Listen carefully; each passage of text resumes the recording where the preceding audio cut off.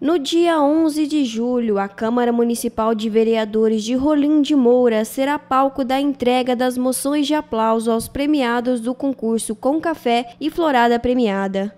O evento está marcado para as 9 horas da manhã, no plenário da Câmara. O presidente da Câmara, Sidney da 200, anunciou que durante a solenidade serão premiados os vencedores das edições da Com Café do ano de 2021 e 2022, além também dos vencedores dos concursos Coffee of the Year 2022 e Florada Premiada. As instituições Emater, Sebrae, Senar e a Secretaria Municipal de Agricultura também receberão moções de aplausos em reconhecimento aos serviços prestados à população de Rolim de Moura.